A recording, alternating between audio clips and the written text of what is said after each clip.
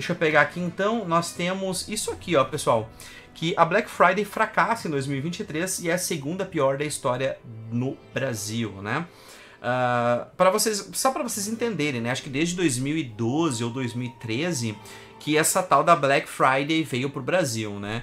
E eu sendo dono de loja sempre odiei essa questão da Black Friday porque as pessoas não entendem o que é Black Friday, né?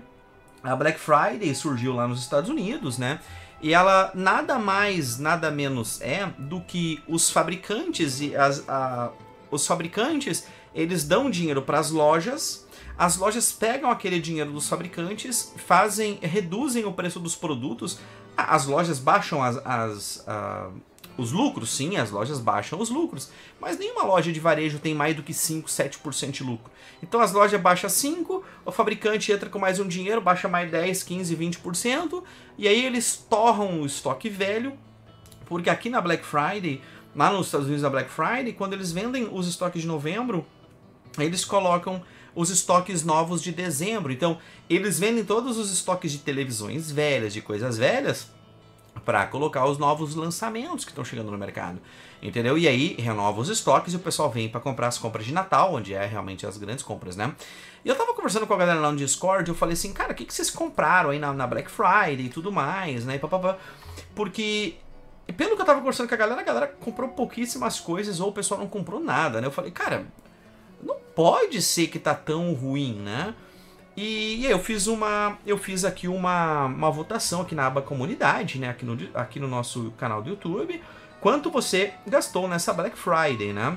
E cara, isso aqui me chamou muita atenção, velho. Isso aqui me chamou muita atenção porque 69% nice. 69% das pessoas não gastaram nada nessa Black Friday. Cara, isso é espantoso, né? Tanto que eu estava. O que eu achei estranho foi. Eu conversei com o pessoal ali no Discord, nós estávamos em 10, 12 pessoas talvez ali. E, cara, a grande maioria das pessoas não tinha comprado nada, zero, nenhuma coisa. Eu falei, cara, como? Todos. Eu, eu não gastei nada também, tá? Eu não, eu não sei, eu comprei um jogo de 8 reais na Steam.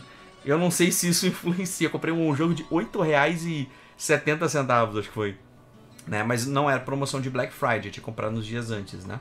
Uh, mas, cara, olha só. Então, de um real até, até 250 reais, foi 10% das pessoas, né? Compraram algum jogo, alguma coisa aí. Né? De 250 a 500 reais, 5%. De 500 a mil reais, 4%. E de acima de mil reais, 11%, né? Lá no nosso Discord, o cara que tá acima desses mil aqui foi o Lucas Emanuel, que ele tinha comprado uma placa de vídeo que era mais de 2 mil, né? Só que, aí o que que acontece, né? Qual que foi, né? Qual que foi a Black Friday, né, anterior? Qual que foi a, a pior Black Friday anterior? Porque essa atual que está acontecendo nesse exato momento, a gente consegue entender. As pessoas estão receosas com o futuro econômico do Brasil, né? Uh, entrou o, o ex-condenado, entrou o ex-presidiário para a presidência. As pessoas estão receosas em gastar dinheiro, né? Nitidamente, é extremamente nítido que o dinheiro deu uma sumida do mercado, né? A gente vê todos os dias pessoas postando no Twitter, pessoas postando no YouTube, uh, avenidas gigantescas de grandes capitais do Brasil vazias, né? E qual que foi a Black Friday anterior, né? Porque eu fiquei, eu fiquei assim, pô, eu sei que foi em 2012, 2013 a primeira Black Friday no Brasil, né? Onde você poderia comprar tudo pelo, pela metade do dobro, né? Sabe qual que foi a Black Friday, a pior, a segunda pior Black Friday? Foi em 2020. E você sabe por que, que foi a segunda pior Black Friday? Por incrível que pareça, não foi por falta de dinheiro, foi por falta de produtos. E eu lembro muito bem, porque a minha loja realmente não tinha nada para vender.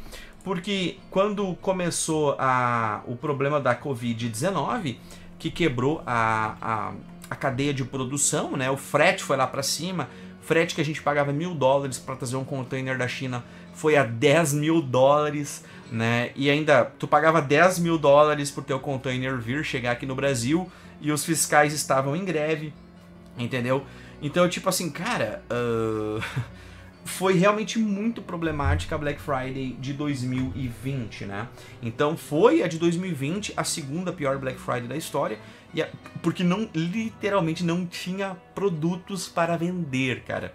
Muitas empresas, muitos segmentos ficaram sem produtos para vender, assim como a minha empresa ficou na época, né? Uh, e agora nós temos a, a pior Black Friday, a pior Black Friday da história, uh, sendo aí no governo do Lula, porque eu entendo que as pessoas estão receosas em gastar o seu dinheiro ou não, mas comenta aqui embaixo aí se vocês compraram alguma coisa ou não, e se vocês estão pensando em guardar dinheiro, estão pensando em fazer o que economicamente, porque realmente as coisas uh, não estão muito boas, uh, não estão muito boas para o futuro da nação, ainda mais depois que a galera colocou um ex-condenado, né, um ex-presidiário para tomar conta do Brasil, e o ministro da Economia que não entende de economia, o ministro da Agricultura que não entende de agricultura, o ministro da Educação que não entende de educação.